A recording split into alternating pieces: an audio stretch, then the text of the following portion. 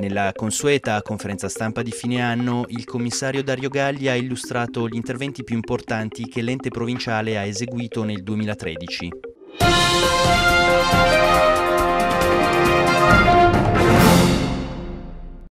Di fatto siamo un po' in questa situazione particolare perché con il primo passaggio alla Camera della, della legge cosiddetta del Rio, eh, le province di fatto dall'anno prossimo dovrebbero mutare profondamente nel senso che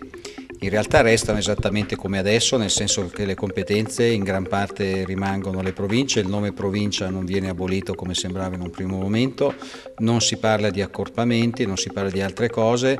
non si parla di eliminazione come si diceva all'inizio, e qui sarebbe stato il vero risparmio, di tutti gli uffici statali decentrati sul territorio, ma semplicemente si passa dalla elezione del Presidente per via diretta da parte dei cittadini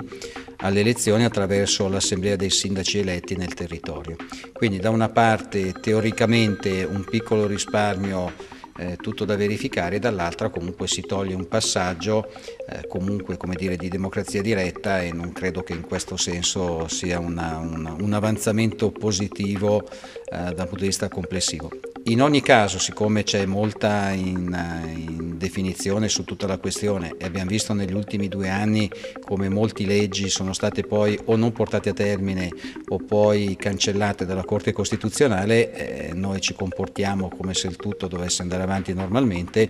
e eh, anche qui come sempre prima provincia d'Italia già nel mese scorso abbiamo fatto il bilancio preventivo non del 2013 come stanno facendo, hanno appena fatto gran parte degli enti pubblici italiani, ma come si dovrebbe fare in qualunque paese europeo normale del 2014. Quindi la provincia ha già previsto appunto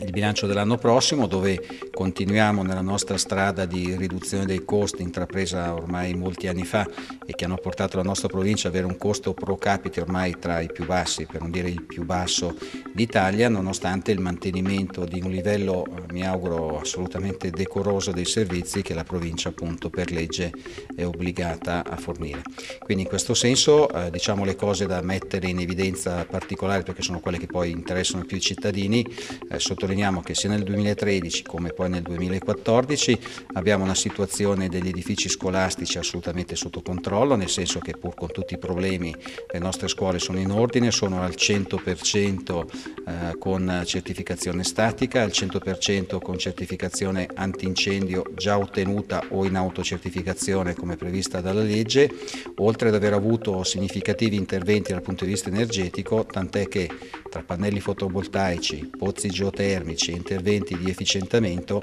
abbiamo anche qui ottenuto un significativo risparmio dal punto di vista delle spese di mantenimento degli edifici stessi. Stessa cosa possiamo dire per le strade, ricordiamo la provincia ha quasi 750 km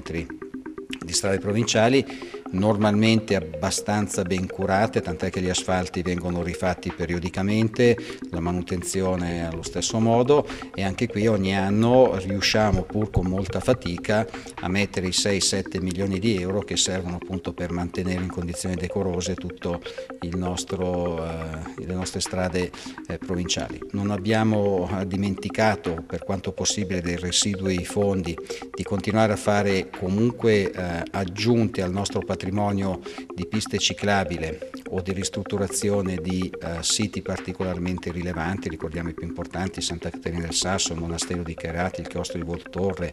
l'Abbazia di Ganna e molti altri, eh, tale per cui continuiamo ad avere comunque una situazione anche dal punto di vista per esempio dell'interesse turistico assolutamente anche qui adeguata e manteniamo le nostre cose particolarmente belle, sempre attrattive per i turisti. Ci siamo anche impegnati nelle grandi manifestazioni eh, sportive, ricordiamo il grande successo anche quest'anno dei mondiali master di canottaggio che sono fatte sia appunto per il valore sportivo che in sé hanno ma soprattutto come abbiamo sempre detto per il valore veramente promozionale del territorio. Ricordiamo l'anno scorso con gli europei che quest'anno con i mondiali master le giornate di riprese televisive che sono andate in mondovisione pubblicizzando e promuovendo quindi la città di Varese, il circondario ma in realtà tutta la provincia con, la, con le sue bellezze. Anche quest'anno, proprio come gli anni scorsi, abbiamo ulteriormente ridotto il costo complessivo di funzionamento, agendo soprattutto sulla leva del costo del personale, perché anche quest'anno, come sempre, abbiamo eh, praticamente non sostituito proprio zero turnover per quanto riguarda il pensionamento dei nostri dipendenti e eliminato quel pochissimo residuo che era rimasto diciamo, di rapporti di consulenza esterna o comunque di, di, lavori cosiddetti atipici. Tant'è che oggi con circa 17 milioni di euro e 450 dipendenti scarsi siamo in rapporto alla popolazione la provincia che spende meno per il personale. Quindi per chiudere, oltre a tante altre cose che potremmo dire, un anno che pur con difficoltà si è chiuso comunque riuscendo appunto a tenere insieme i conti in maniera decorosa, un anno che con tutte le difficoltà che tutto il paese attraversa, in particolare gli enti pubblici, vede comunque la provincia di Varese mantenere la posizione senza per dire rinunciare a cose particolarmente significative.